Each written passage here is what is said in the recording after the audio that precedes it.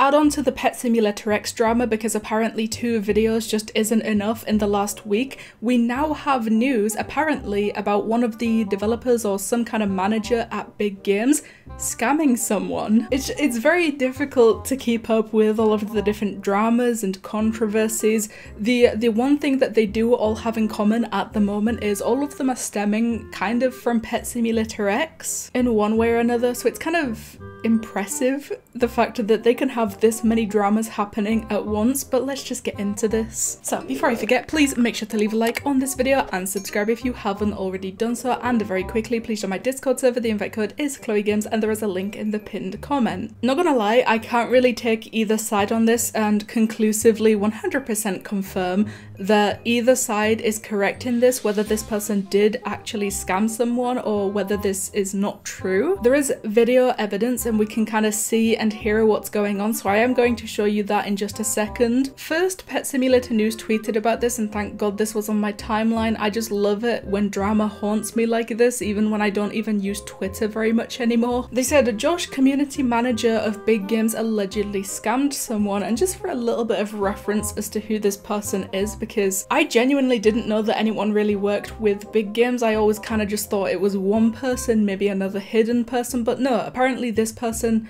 Josh is also working with Big Games or at Big Games, some kind of community manager, which they are doing a terrible job because recently most of their tweets, if not all of them, have just been really, really bad memes, making fun of the game that they took down with a DMCA for having apparently copied their pets when really the only similarities in all of these images is the fact that the pets are cubes and also animals. That's it, but they also said if you expect to directly copy something and not expect consequences, good luck with the life. I really don't understand how everyone is flaming big games for taking down direct copies.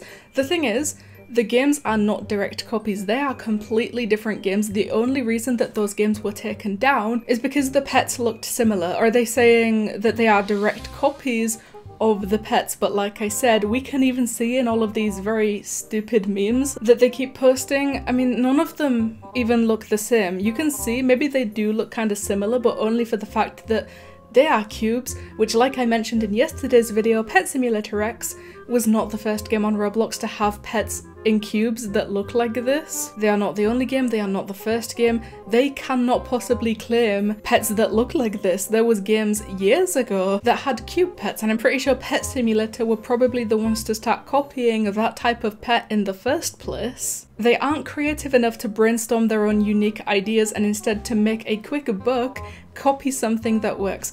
That's, first of all, very ironic coming from somebody defending Pet Simulator, but also, how are they looking or how are they making a quick buck when the game that Pet Simulator X took it down had 20 players. Be realistic, guys. Who's the real enemy here?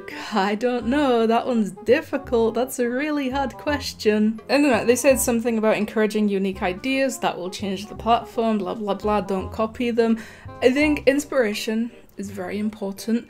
As you can see, all of these pets, I think, were not copied, and I think most of the community also thinks that they were not copied. Maybe just maybe, inspiration was taken, and that's completely fine. I love inspiration, it needs to happen. But moving on, I believe this tweet right here from Cassie might be the actual person that got scammed by Josh. So they said, just thought I'd drop some evidence of Josh scamming in broad daylight. PSA, I do want to apologise to everyone who was in that call. I did not want to leak any conversations that happened in there, but I felt like this needed to be out publicly. So what I'm getting from this video is there was something on the Big Games website that you could buy called Lucky Block DLC included and this was, I really don't know what it was supposed to be, I guess you get a pet or a plushie of one of the pets and it's like a mystery box. So when you buy this box you get one of these pets randomly inside of it delivered to you. It's $50, right? Which, I mean, maybe it doesn't seem like that bad. It does seem bad for a plushie, but maybe it doesn't seem that bad. In the video, the person that got scammed initially bought eight of them. Like, they chose to do that. That was not the part that they got scammed, which $50 and if you try to buy 8 of them it ends up apparently being $400 which once again they chose to do that the first time until I think Josh in the video said something about if you do it again I'll give you a Titanic pet, which is probably something pretty big, pretty rare within the game. I have no idea, but as you can see, in the video, they went through with it, they bought another 8 which is actually $800. We can even see both of these have order confirmed. $800. They bought 16 of the lucky blocks from the Big Games website because they were promised something inside of the game and then apparently at the end he just left and that was it. And apparently he didn't give what he was promising, which a lot of people in the replies are saying that it sounded like he was joking or something like that, which I don't know, they're probably trying to defend big games or something like that. But even if he was joking, in the like 15 minutes that this person was deciding whether or not they should go through with it and buy another 8 of the lucky blocks, maybe he should have considered saying out loud and directly making it very clear that it was a joke. Especially when it comes to dropping $800 on big games plushies. Like I said, we can't really confirm 100% what exactly happened, from the video we do have bits and pieces. We can see that they genuinely did buy 16 of those boxes and we can very clearly hear someone promise this person that they will get a Titanic pet if they do it again. So just to update everyone on the 50 millionth piece of Pet Simulator X drama that has been happening in the last probably five days or something. And that's that. So please, the comments is the place to go. Tell me what you guys think about someone at Big Games apparently scamming someone for like $800. Thank you guys so much for watching and I'll see you in the next one.